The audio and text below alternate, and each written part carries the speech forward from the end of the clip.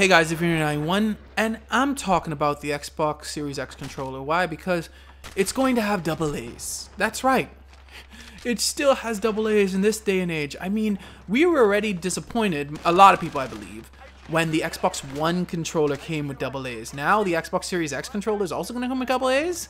I don't get it what's the logic here? The only thing I can think of is maybe because the Xbox Series X is supposed to be such a beast of a console, they're trying to save money on the controller by still making double A's. Because I'm pretty sure having built-in rechargeable batteries into a controller as opposed to double A's prob is probably more expensive.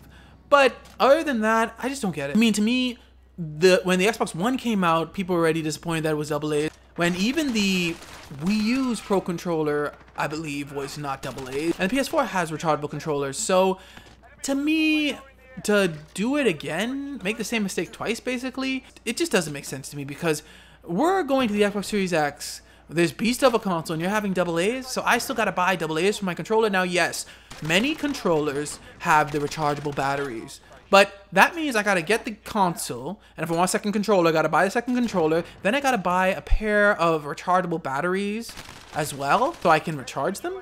No, that just doesn't make much sense. It, the PS4 and now the Nintendo Switch, they just have controllers that you just charge. Now the thing is that since the Xbox One controllers, I believe, are forward compatible with the Xbox Series X, I still think that if I get it, I'm probably just going to use the same controllers anyway. I'm not really going to buy any controllers. Basically, there's a controller that comes with it I'll probably play with. But other than that, so so it doesn't affect me too much since I already have my controllers with their rechargeable batteries. So it's not too much of a loss, but still, it's just one of those things. It's like, why Microsoft are you still doing this? Because I don't see much of the logic behind it. But why do you guys think that Microsoft is going with AA batteries in the controller for the Xbox Series X? And are you guys just cool with the AA's? Let me know in the comments below. Thanks for watching, like, subscribe, and God bless you all.